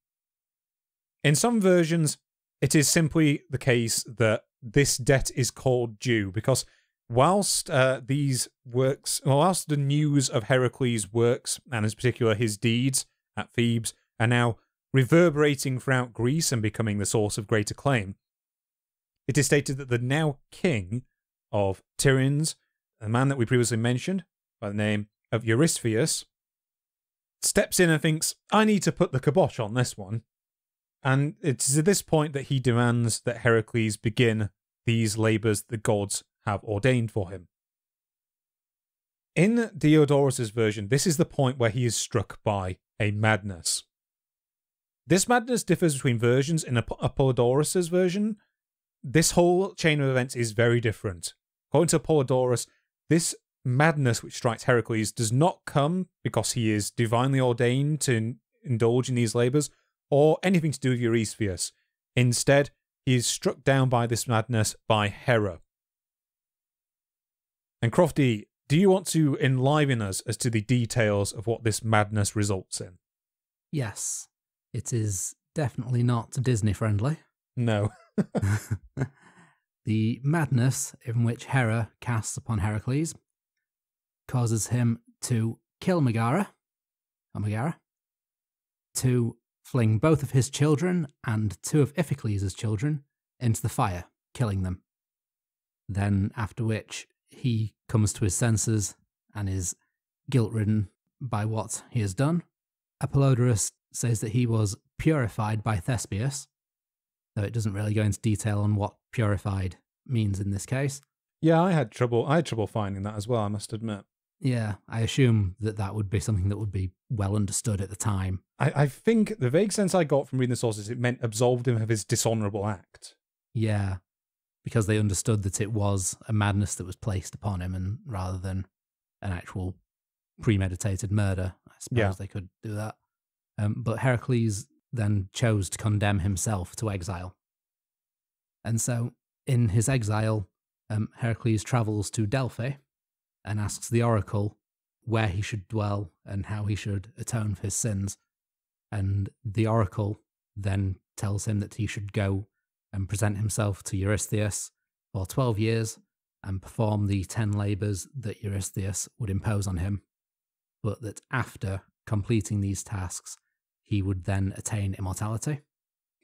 I think one useful thing to point out as well from this meeting, uh, occurring according to different versions of the story, this is actually a point up to which Heracles has not actually received his name of Heracles. I believe in some versions his name before this point is is it Alchemes? Alcides, I think. it is. Alcides, that's the one. So up until this point, his name is often given as Alcides, and he is effectively rechristened Heracles by the Pythia at this point. Um, there's other versions where it happens much later, I believe, after he's completed his labours. Hmm. Yeah, and there's a slight uh, ironic aspect to that name in that it means the glory of Hera, and it was bestowed on him due to the great glory that he would attain as a result of Hera scheming against him. So the alternative version of this that was given by Diodorus has Eurystheus summon Heracles to perform labours for him prior to any madness. Um, Heracles chooses to ignore this initial summons, and Zeus then commands him to submit himself to Eurystheus. Heracles, again, rather than directly obeying both the king and his father, he instead chooses to go to the oracle and ask the oracle for advice. And the oracle then also tells him to present himself to Eurystheus for the completion of 12 labours, and that if he completes them, immortality would be his reward. However, even after the oracle and Zeus and Eurystheus commanding him, he is still too proud to submit himself to Eurystheus, and he is described by Diodorus as he fell into a despondency of no ordinary kind, which Hera takes advantage of and sent upon him a frenzy, and in his vexation of soul he fell into a madness. As the affliction grew on him, he lost his mind and tried to slay Iolaus. Iolaus was his nephew by um, Iphicles. Yep. Um, and so after Iolaus escaped, he instead shot his bow and killed both of his children. Um, when he comes to his senses, he grieves what he's done, and he chooses, after all this, to finally submit himself to Eurystheus and complete the labours. The third and final version of the madness that we'll mention here was told by the playwright Euripides in his tragedy The Madness of Heracles. In this version, um, Amphitryon states that these events are occurring after the 12th labour. Heracles has returned from his labours. He has found that Megara's father has been overthrown by a man named Lycus, and who Lycus is about to have Megara and her sons executed. Heracles returns in the nick of time, because that's the appropriately dramatic way to do things, and kills Lycus. And it's after this that, at a celebratory dinner, Hera sends Lyssa, the goddess of madness, to give Heracles a hallucination. Heracles proclaims in his hallucination that he will slay Eurystheus. He then acts out the ride to Eurystheus's castle, and in this he kills Megara and his sons, believing that they are Eurystheus and Eurystheus's sons, before Athena appears and subdues him and allows Amphitryon to tie him up. At which point he then wakes, comes to his senses, and grieves what he's done. Um, the play basically ends with Heracles and Theseus leaving for Athens, where he'll atone for his sins in a different way. Mhm. So it gives some more detail on the madness, but then puts it in a completely different context. Yeah, that's, I think as we said before, there isn't really a canonical version, uh, unfortunately, of his whole uh, of his whole pursuit. And in fact, many of the scholars I read kind of celebrated the idea and said it's a mistake to try and impose a single version. Yeah. But what's interesting, I think, like that's where the series of events where Megara is killed. That's that's where that thread appears into his version of the story. And the other two versions, Megara actually survives for much longer. So is this where we hand over and begin the labours themselves then? Not quite yet, Crofty. Not not so fast, Crofty. No. Um, I wanted to just quickly mention before we start talking about the twelve labours of Heracles, which is the uh, big uh, crowd pleasing event that we are all here for, I'm sure. I thought I'd just want to mention a couple of things around the construction of the labours. So, the big thing for us to mention here is that different sources on Heracles do change the exact order of some of the labours. The most notable examples for us that we're going to have today is that um, the accounts of Apollodorus and Diodorus are slightly different in terms of order. So we're going to be following the order laid out of Apollodorus just for the sake of consistency and so that you can follow along at home. The one thing I also want to point out is that the there's some conflict as to whether, you know, the canonical number of labors, which in some versions initially 10, eventually 12, in most versions originally 12 and always 12. In some of the earliest sources associated with Heracles, the exact number of feats and labors that are attributed to him do vary quite wildly. So um, it's not really until the third century BC that the exact labors and numbers seem to become fully canonized. Although I did find some contradictory information on that. So um, the lost work of Panyassis that I mentioned before is mentioned by some scholars as a potential source of the 12 number. Of the authors that mention any of the more than one of the labors, Pindar is probably the best example. He mentions uh, the first labor, the third labor, and I believe the fifth labor.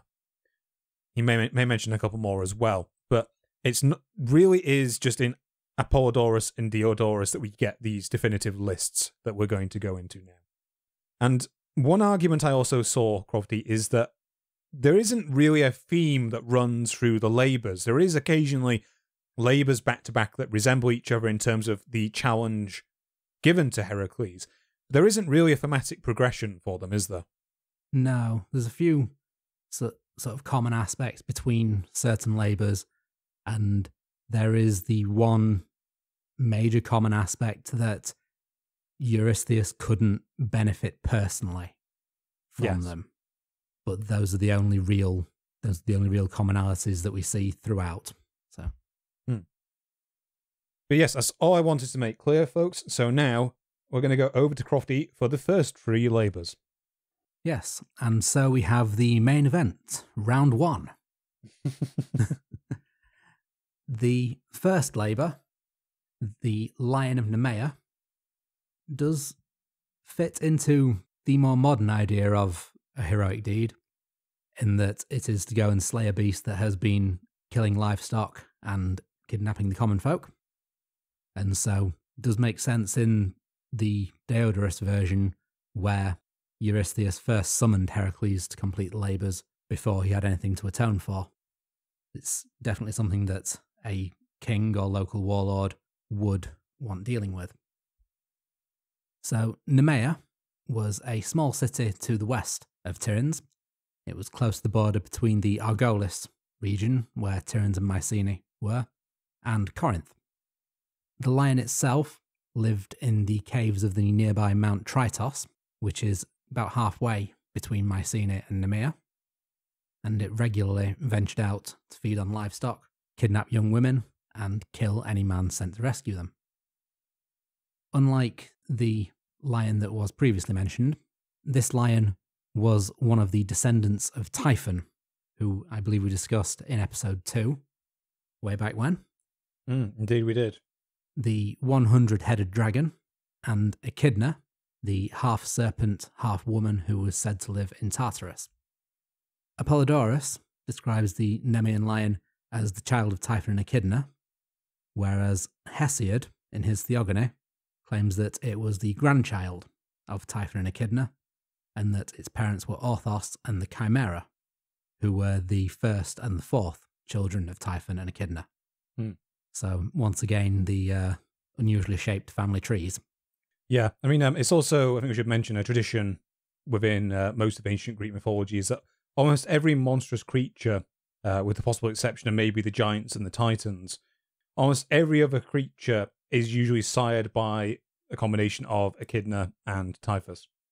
They are respectively referred to as the mother and the father of monsters, and at least one of them is usually involved in the ancestry Mm. of every monster that we'll see. So, despite being descended from Typhon, who had nearly killed Zeus previously, or perhaps because he'd been descended from Typhon, Hera herself raised the Nemean lion, and sources including Hesiod and the poet Callimachus claim that Hera set the lion on the ne- Nemea region and the Argolis region as a punishment for believing that the local humans had seen her bathing in a nearby spring, which she bathed in once every year.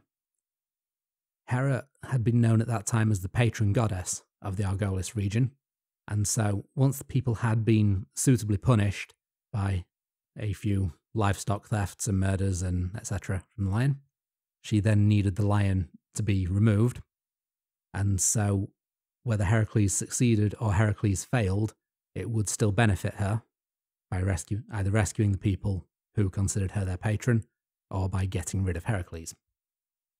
As Heracles travelled to Nemea, he rested one night at the farm of a man named Molorchus. That night, Molorchus had been planning to sacrifice a ram to Zeus. So, according to Apollodorus, Heracles convinced Molorchus to wait 30 days. If he returned victorious, then together they would sacrifice the ram to Zeus. If he did not return, Heracles asked that Molorchus then sacrifice the ram to Heracles as a hero, which, as we discussed earlier, would be a particularly important distinction to Molorchus, because if Heracles came back alive and they sacrificed to Zeus, Molorchus would get to eat the meat. If Heracles was dead, then Molorchus was just wasting an entire ram. The most detailed account that we have of Heracles' encounter um, actually comes from the poet Theocritus in one of his idylls. In this poem, Heracles tells a man named Phyleus of his exploits. He explains that he found the lion's hunting grounds, where the pallor of fear hung over the farmsteads, and no man worked with his oxen or laboured in the fields.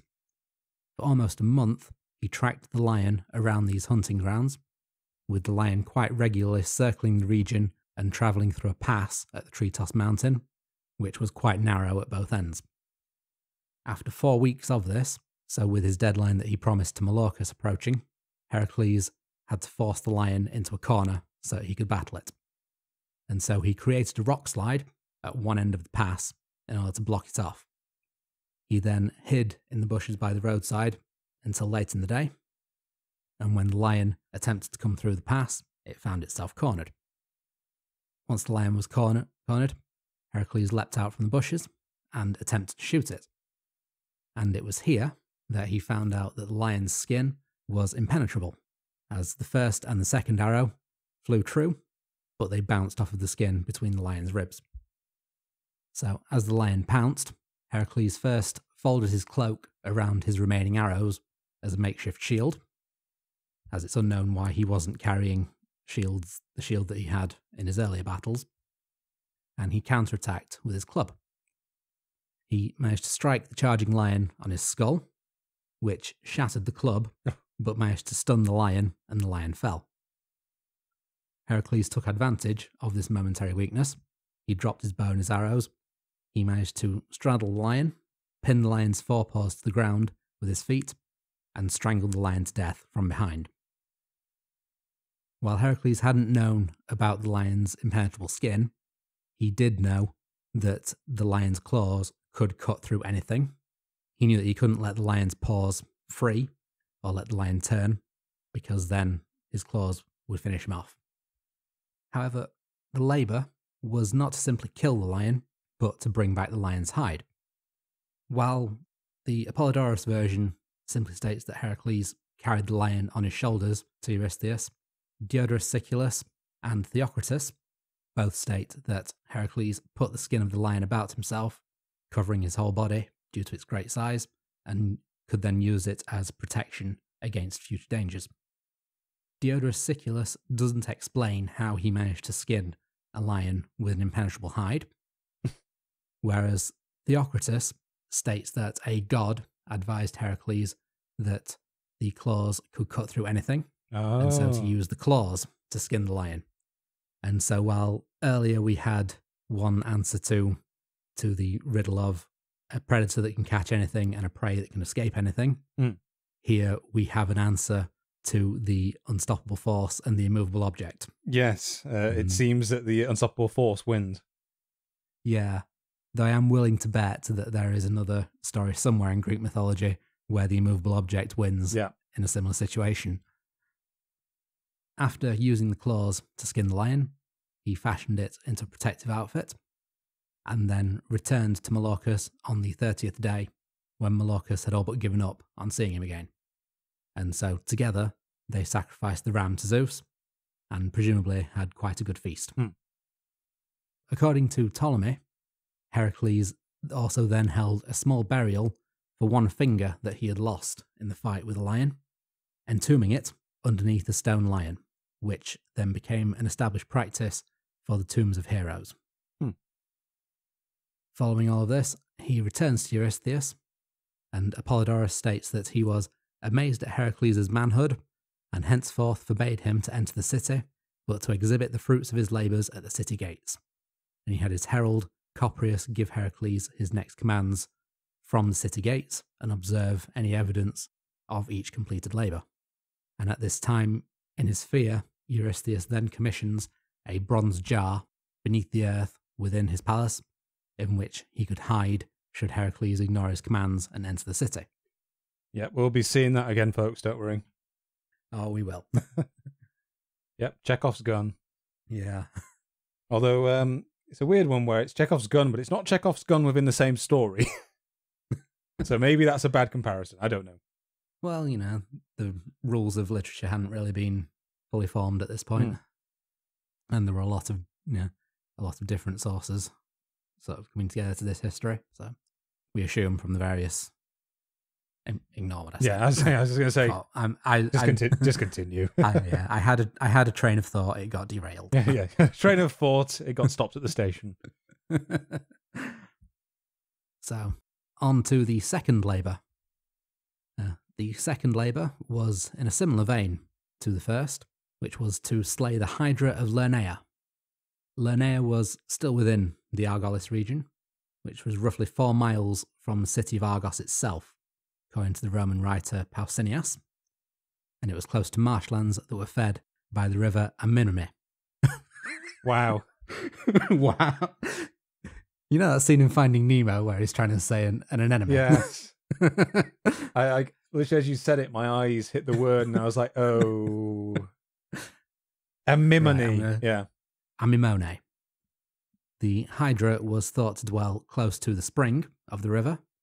Hesiod states that the Hydra was the third child of Typhon and Echidna, and that the Hydra was also raised by Hera. And in fact, some translations say that it was suckled by Hera. There's a slight callback to earlier on when Heracles was a baby. Yeah. As she chose to use the Hydra to deliberately set it upon Heracles.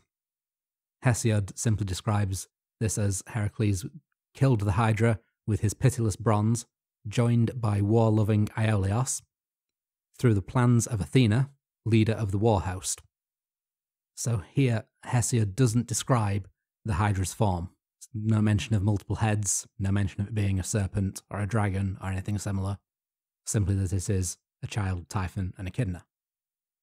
The generally accepted form is that of a water serpent with multiple heads, Hmm. though the number does vary quite a bit between writers. So Pausanias, who was a Roman travel writer, and so was like more skeptical than poets or earlier Greek historians, believed that while it was larger and more venomous than other water snakes, that it only had one head. he claimed that the first description by Peisander of Chimeros gave it multiple heads in order to make it scarier and to make his poem more memorable. What a rotter, wanting to make his poem entertaining. That's not what poetry's for. But, uh, there's not even a single school child annoyed by having to read this. I uh, unfortunately can't find any of Peisander's works to tell you whether his Oh, poetry was entertaining or memorable. Hmm. Um, they don't seem to have survived. Well, can't have been, can't have been, can't have been that entertaining then. Or they were so entertaining that someone was jealous and destroyed them all. They were too dangerous to survive. sorry, sorry, go on. That's a possibility. On a serious note, and back to the uh, less entertaining but quite interesting histories by Apollodorus.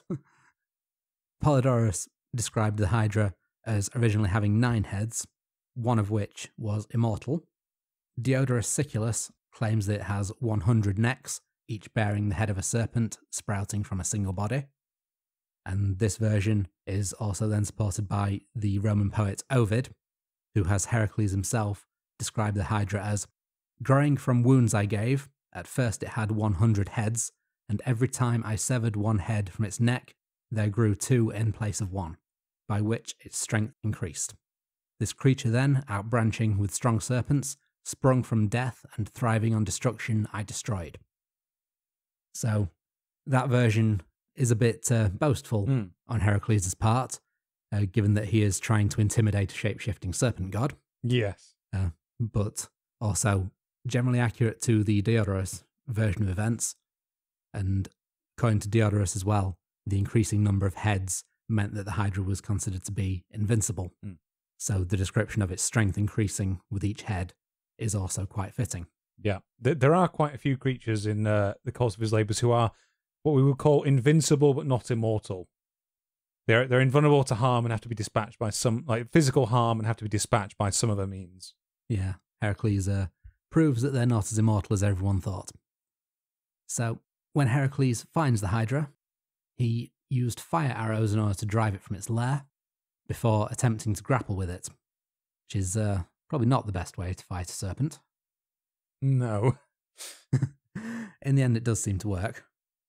At this point, a large crab, which has been sent by Hera, tried to aid the Hydra by biting at Heracles' foot, but Heracles quite easily dispatched that by smashing it with his new club.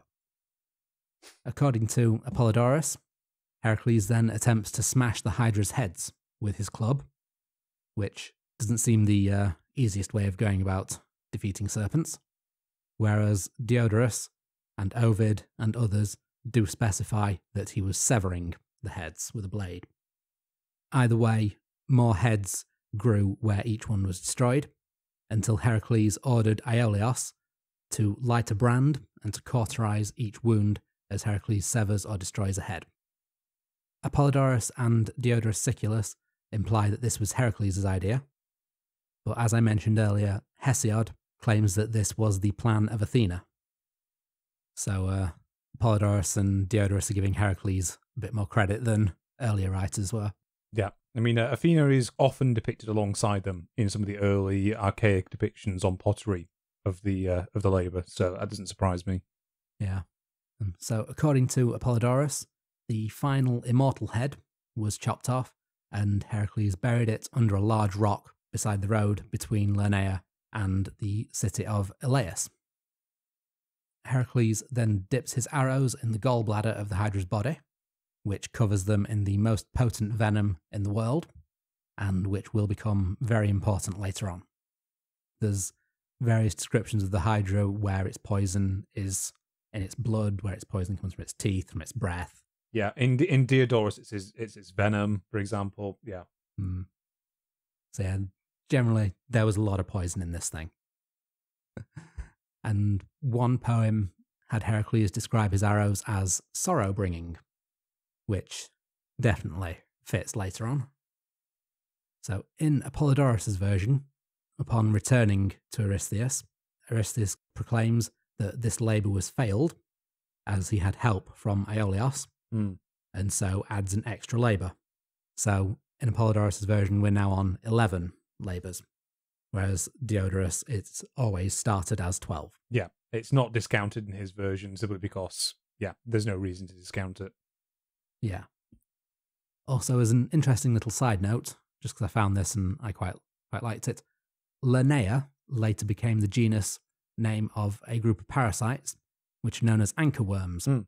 which are a worm with several hooks at one end that latch onto fish. And so they do bear quite a distinct resemblance to some Oh, early yeah. depictions of the Hydra as a serpent like body with many heads sprouting from it. Oh, wow, yeah. I've just uh, looked up an image on Google Images, and uh, I wouldn't want that on me if I was a fish. No, no, it's a bit nasty. Mm. So we have two labours completed, or one complete and one failed, depending on which version you prefer. Uh, the next two labours were a bit less in Heracles' wheelhouse as killing monsters. I'm going to work from Apollodorus' order, and so the next labour will be capturing the Cerynitian hind. And so in, in this labour, it was specified that Heracles must bring the animal back alive, which he's not really done with most things he's encountered at this stage. Yeah, it's it's uh, strangle, set fire to, hit with club. Um, Beat to death with a lyre, Yeah. uh, kill an entire army. Um, yep. you know, so the, the first two were relatively easy, really. Throw a kid in the fire. Yeah. Yeah.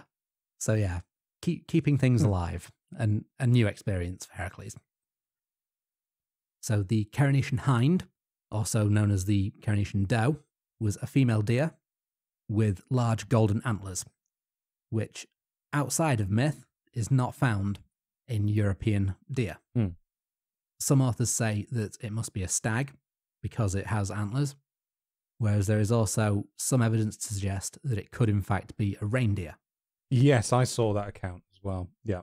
Yeah, as female reindeers do have antlers. Well, it, well, it's not uncommon for some elements of Greek mythology don't actually uh, represent animals that would have been alive in Greece at the time.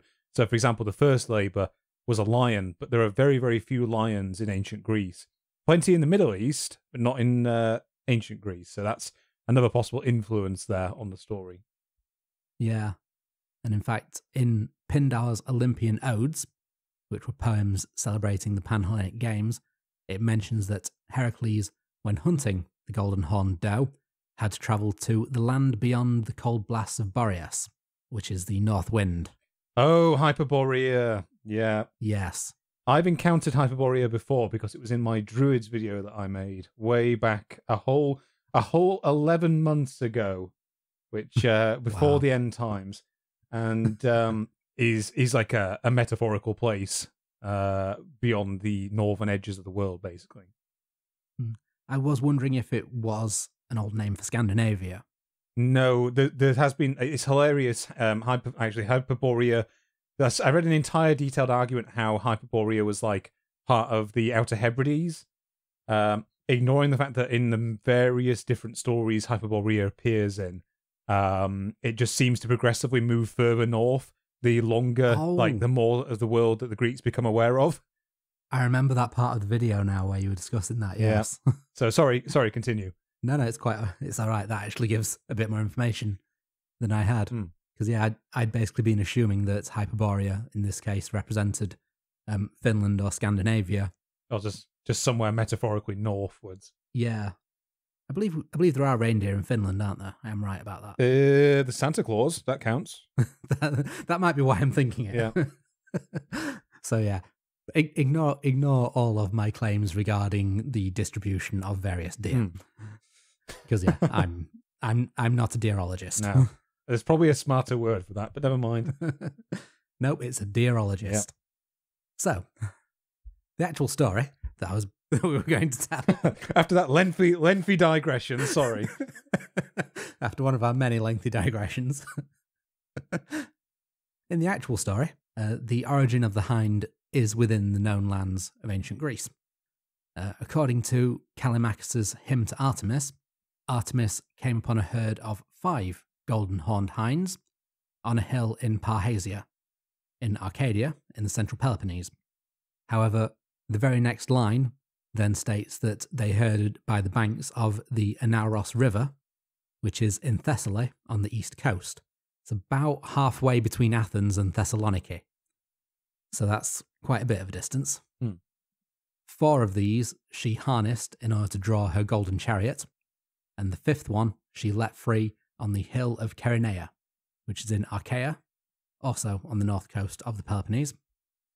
And the poem stated that it might be in the after days a labour for Heracles.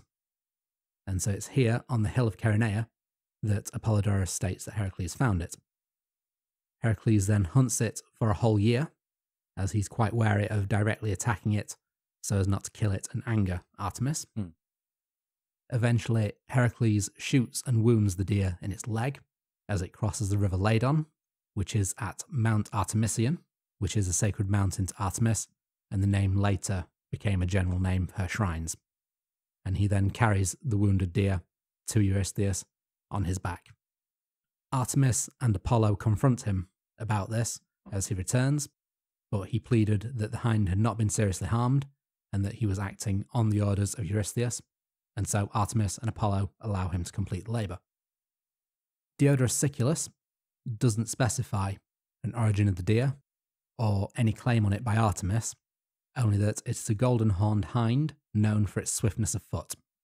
He also claims that Heracles captured it with intelligence and not with violence, saying that in the performance of this labour, his sagacity stood him in not less stead than his strength of body. For some say he captured it by the use of nets, others that he tracked it and mastered it while it was asleep, and some that he wore it out by running it down. So, no mention of wounding it at all. In the description in the book I mentioned earlier, the unauthorized biography of Heracles, it claims that Eurystheus demanded the hind his menagerie, while Heracles promised to Artemis that he would return it to her. So Heracles demanded that Eurystheus come out himself to accept the hind, as the labour specified to deliver it to him.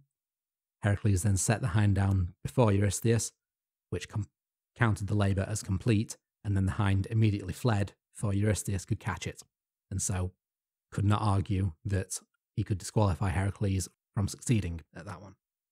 However, like I say, that one is from the unauthorized biography, and so there is no, I don't have a direct source for that one. So take that as a modern interpretation or just as something that I can't yet back up. Fair enough. I believe then, Crofty, after the end of that particular tale, we have almost a little bit of an interlude in his story. yes, we have a slight digression on the way to Heracles' fourth labour, uh, in which Heracles goes from being a hero and son of gods to being an extinction level event, you could say. Oof. Yeah, th- this is one of the uh, this is one of the parts of the story where, in a modern view, it would disqualify him from being a hero. Mm. But here it's just accepted as something that he did. Yeah. So when travelling for his fourth labour, Heracles stayed the night in the home of the centaur Pholus. In ancient Greece, centaurs were, as they're quite commonly depicted in fantasy, an entire horse body with four legs, with a human body from the waist upwards sprouting where the horse's neck would be. However, these centaurs are also quite brutish. Uh, they eat their meat raw, they're very large and strong enough to uproot trees with their bare hands. Pholus is slightly different from most centaurs in that he walks on two legs, so he only has the hind legs of a horse, and he was also the wisest of centaurs, or one of the two wisest centaurs. So his personality much more fits the more modern depictions of centaurs as wise and nature loving. In the house of Pholus, two of them shared a meal, with Pholus eating his meat raw and Heracles eating his cooked. Heracles, during this meal, called for wine. Apollodorus says that the wine belonged to all of the centaurs, and so Pholus was reluctant to open it, and Heracles insisted. Diodorus Siculus says that the wine had been given to Pholus by Dionysus four generations previously, and Dionysus had told him only to open it for a man named Heracles. Either way, the wine was strong enough that when it was opened, all of the centaurs smelled it. Whether it was opening their wine and so they reacted in anger, or opening super strong Dionysus wine, which drove them mad, they attacked Pholus' house. Uh, Hmm. Some of them, like I say, could uproot trees, and so they were using entire trees as clubs. Some were armed with firebrands, some were armed with axes. And Heracles single handedly killed at least a dozen of them, and the remaining ones fled. Heracles, not being happy about centaurs trying to kill him, decided to chase them all down.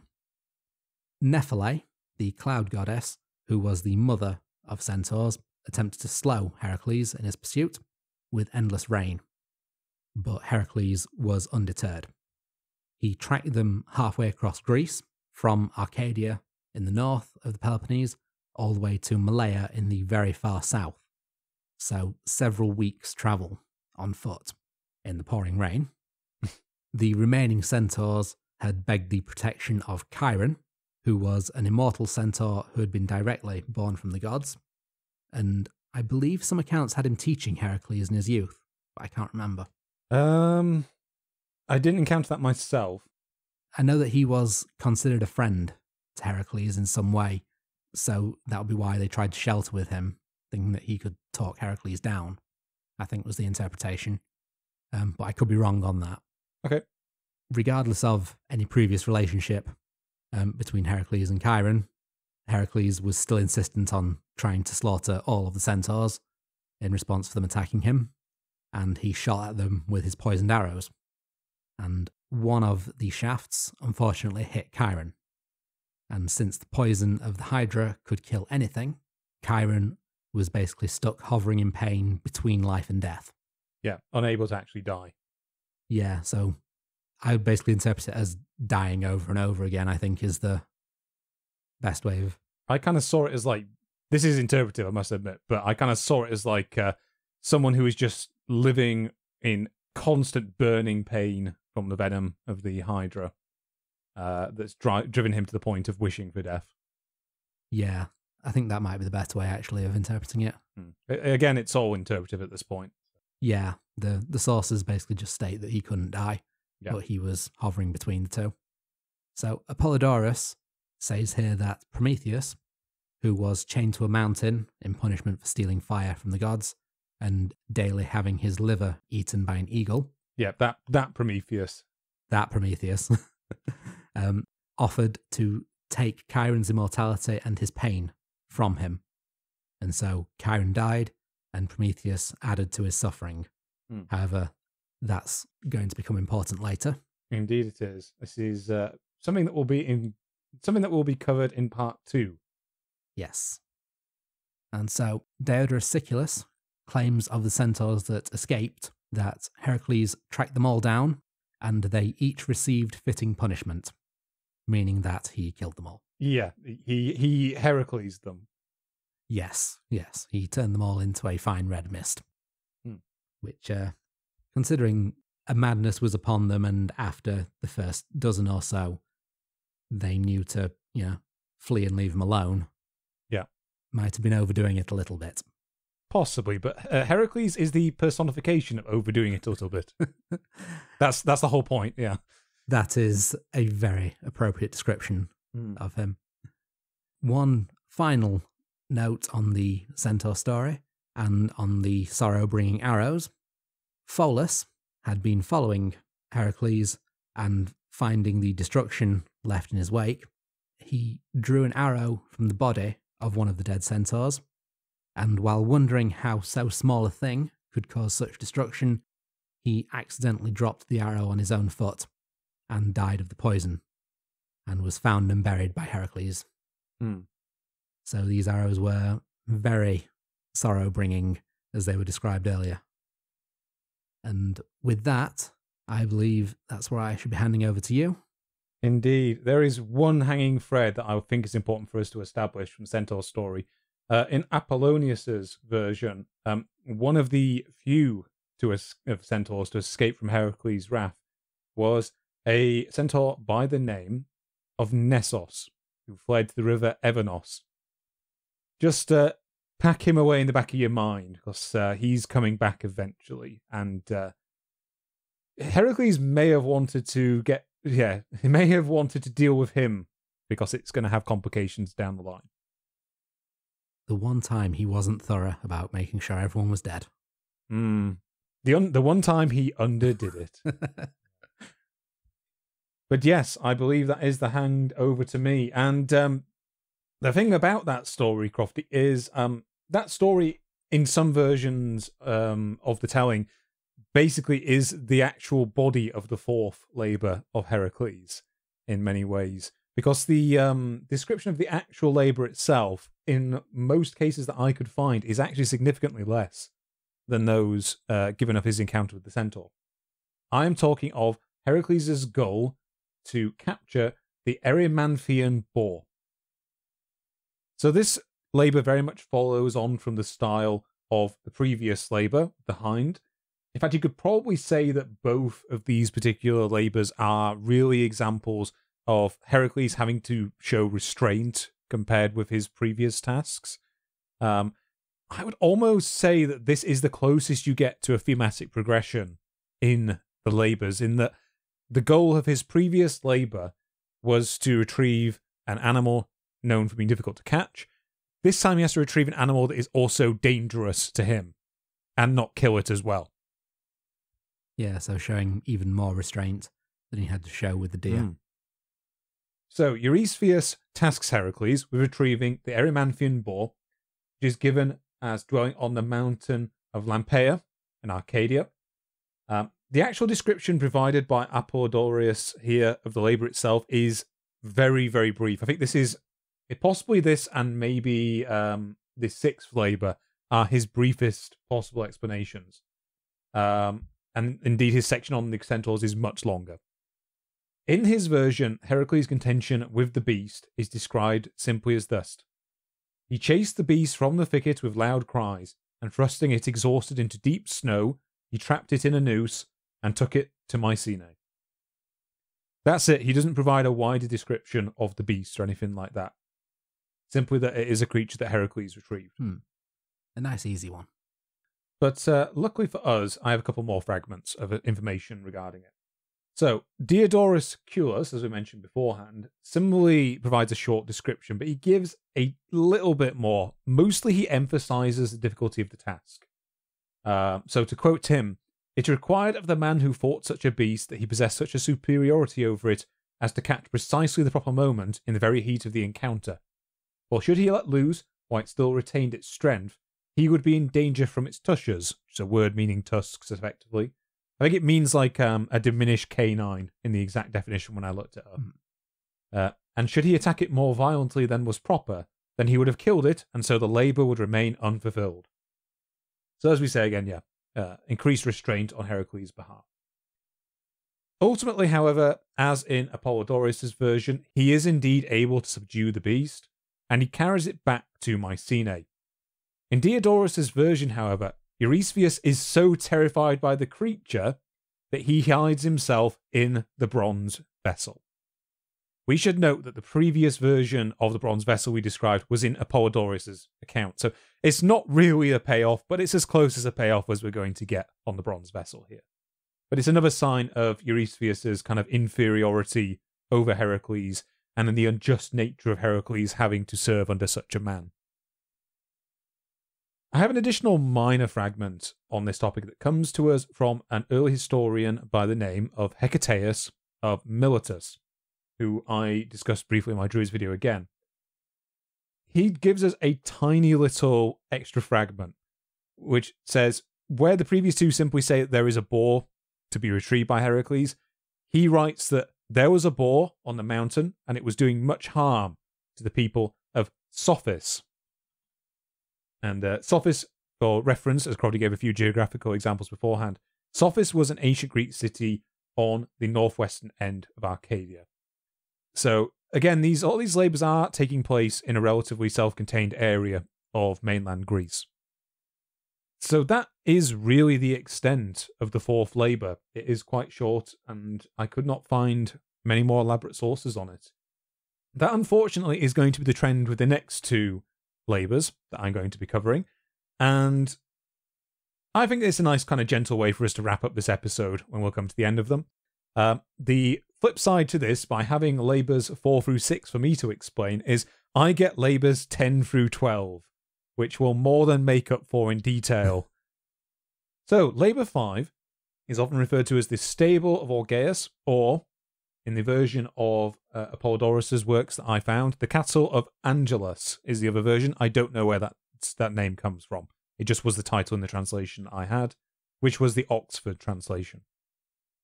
For this labour, Heracles was tasked with removing all the dung of the cattle of Augeas without assistance in a single day. So the goal in this particular case by Eurystheus is not to give uh, Heracles a difficult task like he did for some of his earlier labours, or even something which he had to use guile and restraint in order to accomplish.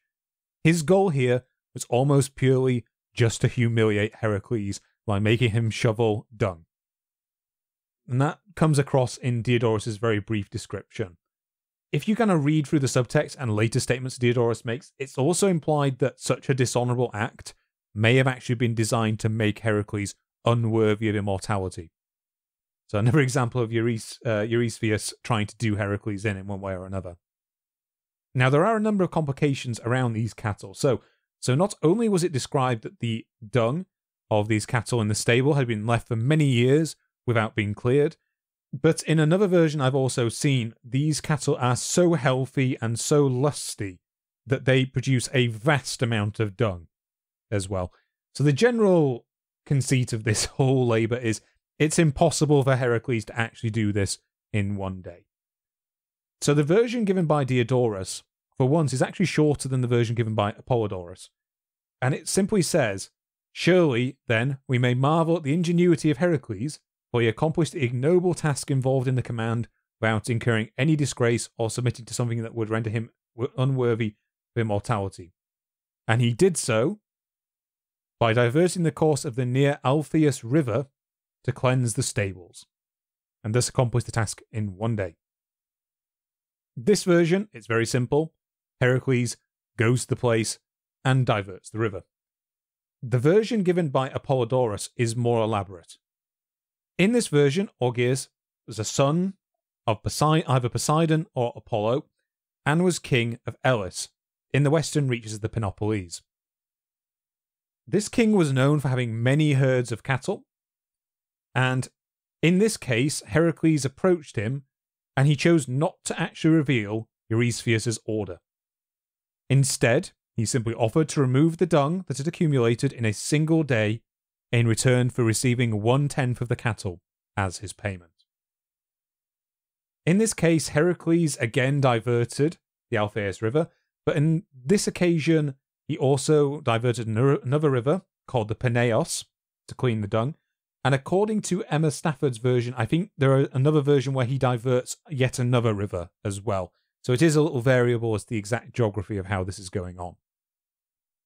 So, with the deed completed, Augeas refuses to pay him after he has discovered that the task was done at the order of the king of Mycenae and Tiryns. But then Augeas goes a little further and he claims that he never made the promise in the first place. Luckily, Heracles had fought to bring a witness to his deeds and the agreement, uh, which was Augeas' son Phyleus. Augeas agrees to go before judges on this particular case, and Phyleus stands as a witness against his father.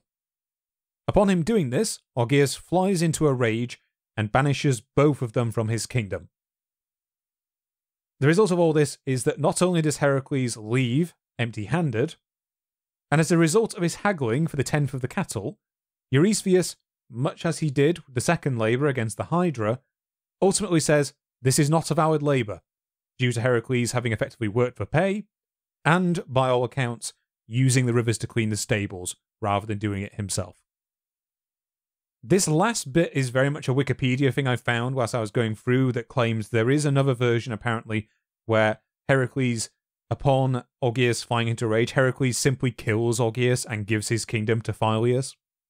Um, I could not find a primary source for that version. Does sound like something Heracles would do, though. Yeah, uh, that's the problem with being so famous for doing things a certain way, is people attribute all sorts of things to you. But yes, so uh, again, difference between Apollodorus uh, and Diodorus, it's a part of the 12 labours that Heracles was always fated to complete. In Apollodorus, this now moves the number of tasks that he must complete to 12 rather than the 11 he had before. So, the final labour, which I'm going to be covering today, and the last part of the first episode, is going to be on the Stymphalian birds. This is a bit of a damp squib of a labour to end on, I must admit, Crofty. It's a bit mundane compared to those which came before it. I found two different versions of it. In this version, Eurystheus tasks Heracles with driving off the Stymphalian birds, who, according to Diodorus, had been destroying the country around the lake of Stymphalus, which the version, when I looked this up, um, it's actually a town or a swamp that is situated in the northeast of ancient Arcadia as well. So again, we're still in quite a local area when you think about uh, where Heracles will end up going in his later labours. Due to the vast number of the birds which had sheltered there, which I believe, according to Apollodorus, they had sheltered there due to fear of being eaten by the wolves in the surrounding area, there was no real way for Heracles to overcome them by sheer force of will or physical prowess as he had in some of his previous tasks, or mo- all of his previous tasks, really. So, in this case, Heracles had to use his pure in- ingenuity. Here's where there's a little bit of a split in the account. So, one of the accounts, which is a bit funnier, I must admit, uh, up until a certain point anyway, is that according to Apollodorus, Heracles couldn't think of anything he could do to drive the birds away. So, at this point, his half sister Athena again steps in and gives him a set of bronze castanets that she had been given by the divine smith Hephaestos. It's very simple from this point onwards. He simply drives the birds up into the air with their noise, and Heracles simply shoots them down with his arrows. So, Heracles doesn't really display much guile in that version because he basically has someone else do it for him and then he shoots stuff. Is again fitting with some versions of the earlier labours as well. Mm. Uh, the slightly smarter version on Heracles' behalf is Diodorus' version, in which he fashions a bronze rattle, by which he was able to create such a din that he drove the birds away. This is the version that's also uh, included by authors, uh, as we mentioned before, by Peisandros and also by Apollonios, who we'll probably get into a little bit in the next episode, as he is the author of the Argonautica, which Heracles is in for a minute. So, Crofty, we've come to the end of the first part. We're now halfway through the labours. And uh, what have we got in store next time? Next time, we see Heracles start to go further afield Mm. from Greece, travelling as far as the lands of the Amazons. Would you, uh, would you, or would you not call this part the legendary journeys? Could call this part of the legendary journeys, yes. Mm, yes, uh, I'll just bleep that bit out so we don't get sued by the people who actually made that TV show. Hmm. If we got sued, I'd be very disappointed. So this is, to me, is Hercules getting through the first half of the task, and now he's going on to bigger and better things. Hmm. Heracles on tour. Indeed. So, folks, we'll be uh, back as soon as we can, as soon as we write the second part of this episode. Is it is it obvious that we uh, deliberately split this up so that we had to do half as much work the first time? No, that's that's not really what happened, but uh, we're going to claim it was. So, same time next year? Same time next year, indeed. so, before we go today, I would just like to quickly mention a few things to do with the channel. So, if you want to support the channel a little bit further, you can follow me over on Twitter at twitter.com slash the underscore histocrat, where I generally keep people updated as to what the topics of future podcasts are going to be and when about we're hoping to get one out. Basically, whenever we have time to get together these days. In addition to this, if you'd also like to help support the channel a little bit further, you can head on over to patreon.com slash the histocrat, where I am taking any proceeds and using it and funding it straight back into the channel to improve things like channel art, equipment, and anything else I feel could help the process. So, quick thank you to everyone on there who has pledged so far. And that's everything I had to plug. So, uh, It's good night from me, Crofty. And it's good night from him. Good night.